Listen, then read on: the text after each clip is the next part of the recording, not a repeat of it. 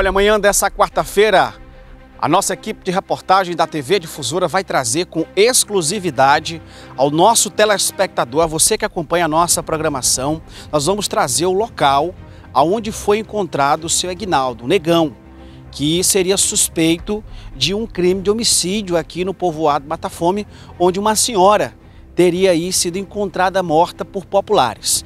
Esses homens aqui que trabalham diariamente aqui na área vão mostrar aqui pra gente o local exato aonde ele foi encontrado. Segundo as informações, o negão chegou a dizer a esses homens que esse tempo todinho ele estava comendo manga, se alimentando somente de manga e estava muito fraco, estava aí já em uma situação em que não havia mais forças, até mesmo para correr, é.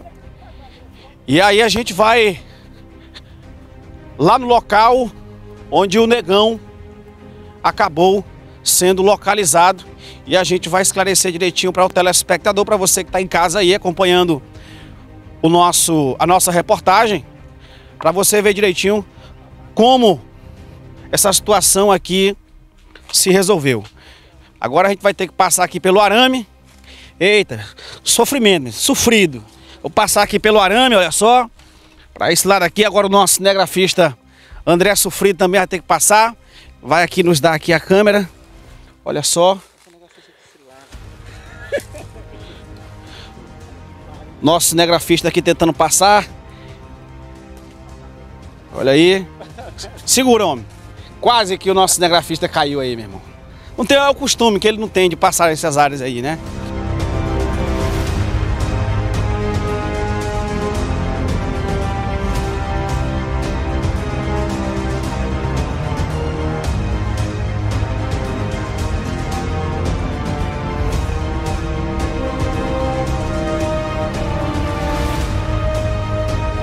Olha, continuando aqui a nossa caminhada, como você vê nas imagens de André Luiz, toda essa área aqui é uma área que no período de inverno ela fica é basicamente toda cheia da água das chuvas.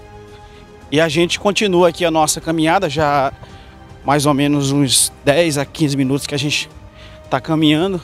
Acredito que a gente já está próximo de chegar lá ao local. Aqueles dois homens estão aqui auxiliando a gente. Vamos passar aqui por outro cercado, né, para poder ter acesso aqui ao outro lado do local onde foi encontrado aí o negão, aqui pelos trabalhadores. Meu amigo cinegrafista André Luiz está meio sofrido, já caminhou bastante, mas a gente vai até lá.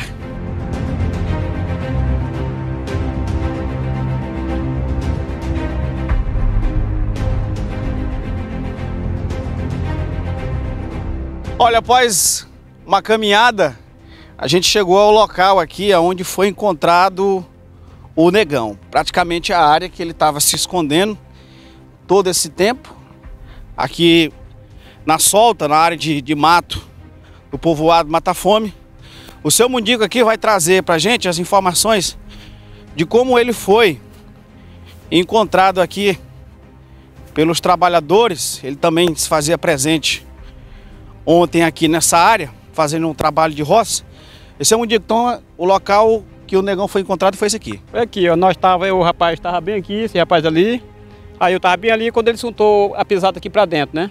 Aí ele foi, me falou, rapaz, tem um negócio pisando para dentro. Eu disse, papai, então entra por aí, que eu entro por aqui. Aí nós entramos aí, ó. Aí quando eu, eu, cheguei bem ali assim, ele ia bem ali, aí esse daqui, rapaz, daqui, chegou bem ali, viu, gritou, é o negão. Aí nós fomos chamamos ele. Aí sentamos debaixo desse pé de pau, ele sentou debaixo desse pé de pau, nós chamamos ele. Aí fomos conversar com ele. Aí perguntamos para ele, né? Nós perguntamos para ele se ele. Já porque ele andava se escondendo, que eles não devem andar se escondendo. Eles.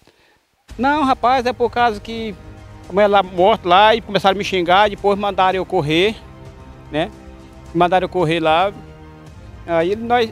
Eu corri com medo. Ele negando todo tempo que não foi ele. Negando todo tempo que não foi ele, né? Só me diga, que situação vocês encontraram ele? Ele estava fraco, com fome, com sede? Fraco, fraco, fraco. Ele disse que já tinha desmaiado ali. Né? Já tinha desmaiado.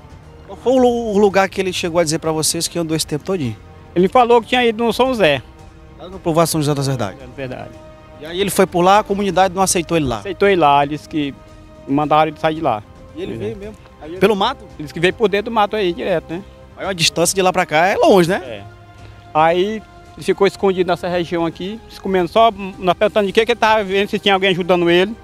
Ele disse que não, só comendo manga mesmo e cana. Manga e cana. Manga e cana. Pai, manga e cana dá sustância, seu. Pois é, ele disse que só o que estava comendo. E aí depois, como é que vocês fizeram pra chamar a polícia? Aí nós chamamos a polícia, nós conversamos com ele ali. Negão, nós quer, quer que nós te levemos lá para matar a fome, que aqui nós não vamos mais te, te liberar, né? Porque se nós chegar a te liberar aqui, mais, mais cedo ou mais tarde tu vai pego, né? E tu vai, eu tenho o primeiro de entregar, dizer que nós te, te vimos, né? E liberou. E liberou. Então o que é que o povo vai dizer, né? Aí ele se ficou assim, aí ele concordou pro menino que chamar a polícia, que leva pra matar a fome lá, ele ficou com medo do pessoal lixar ele, né? Aí levaram ele pra uma fazenda, né? Vem pra cá, pra fazenda aqui, e eu fui, nós tínhamos ligado pra, pra polícia, aí eu fiquei ali, aí fui mais a polícia pra lá. Ele chegou a pedir alguma, um pouquinho de comida, alguma coisa? Água? Ele bebeu água aí, quer dizer, até a merendou ainda, que ele estava com muita fome, né? Aí deram água pra ele, ele tava deitado ali, quando ele bebeu água assim, ele bebeu quase um litro d'água, desse litrão, dois litros. Chega de cair assim, desmaiado, levanta, negão. Ele tava dando agonia. Você conhecia a, a senhora lá, que ele morava com ela? Conheci, hein? Ela era querida lá pela comunidade? É, todo mundo gostava dela, né? E ele, o negão? Negão, o posto também não tinha, tinha muita raiva dele, não. Eu via direto aí, muitos tempos, trabalhou muitos tempos mais eu também, né? Que não eu disse pra ele, negão, eu tenho pena da tua situação, que tu trabalhou muitos tempos mais nós aqui, não foi não? Que eu falei pra ele. Mas uma- né, agora alguma coisa dessa eu não posso, né? Aceitar, né? O interessante aqui, seu Mudica, é que essa área aqui vocês estavam limpando, fazendo aquele trabalho de roço aqui, para exatamente colocar fogo aqui e ele estaria no meio, Medo do, do, do fogo cruzar aqui ia ser daqui, né? aí ele ia se arrebentar, né? Ia, ia morrer, né? Porque aí o pessoal vendo daí ia dizer que nós tínhamos até matado ele e jogado no meio do fogo, né? A sorte É. dele que salvou ele do fogo foi aquela gaia ali que ele mandou cortar. Cortar. Como é que foi, como é que foi aí? A sorte dele foi aquela gaia ali que o tratorista mandou o Mundico cortar e o Mundico empalhou ele. Que nós já ia tocar o fogo. Já tinha parado de cortar o aceiro ali nós já tava se reunindo. Aí eu tava sentado bem aqui, eu escutei pisando ali no pé de pau. Aí eu disse, menino, tem um negócio pisando pra ali. Aí eu fui e falei, Mundico, aí por aí eu fui por aqui. Quando eu cheguei na beira da gota, ele já ia passando. Aí eu chamei ele. Ei, negão, vai pra onde, rapaz? Para aí. Aí ele parou, eu chamei ele, ele veio, conversou mais nós. Aí levemos ele lá pra fazenda e entreguemos ele pros homens lá. Trabalhando esse tempo todo aqui, você não tinha visto ele ainda não, né? Ainda não. Encontramos ele ontem aqui, feio de jeito mesmo que ele tava aí. viu? Se tivesse passado mais um dia, a gente já tinha achado ele dentro da solta e era morto. tá dando agonia. Pois é, o homem tá- chega o homem tá desfigurado. Pois é. Tá dando O senhor lembra mais ou menos, já está com mais de uns 10 dias que teve essa situação, né? Já a gente completou 10 dias, hoje tá com 11 dias. Foi acontecido isso aí. O senhor acha que mais ou menos quantos dias o negão passou com fome? Rapaz, ele me disse que do dia que ele. né, Que no dia que ele. que ele saiu daqui, ele só comeu umas bolachas. Umas bolachas lá, onde ele fez aquela então, entrevista que tem que ele fez, como a mulher fez com ele. Aí lá ele disse que só comeu umas bolachas. Lá pra cá ele disse que todo tempo sem comer, só senhor acha que manga dá sustância, onde? É, senhor, pá, não dá não mais, o cara vai se alimentando, vai ainda bebendo água, vai, né? Porque do jeito que ele tava, se tivesse alguém ajudando ele, dando comer pra ele, ele não tava fraco daquele jeito, né? Ele falou que de lá pra cá ele só comeu essas bolachas depois desse dia.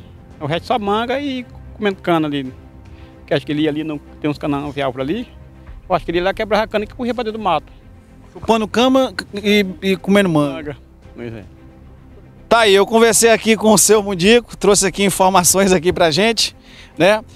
Essa aqui é a área que o negão estava se escondendo. Vou chamar aqui o nosso cinegrafista para me acompanhar. Vou chamar aqui o nosso cinegrafista. Essa aqui é a área, uma grota, onde no período também do inverno a água passa aqui por essa área, olha só. Tem aqui um- um- um- ainda uma quantidade de água acumulada aqui nesse local. Então, basicamente, essa é a área que foi encontrada, é, foi localizado aí o negão, que acabou sendo entregue aí para a equipe da Polícia Civil, que veio até é, as proximidades aqui do povoado Mata Fome, uma fazenda aqui que fica às margens da BR-316, e ele acabou sendo levado até a delegacia regional aqui da cidade de Bacabal. A equipe da TV Difusora, com imagens de André Luiz, está sofrido, meu irmão. Reportagem de Samuel David para a TV Difusora.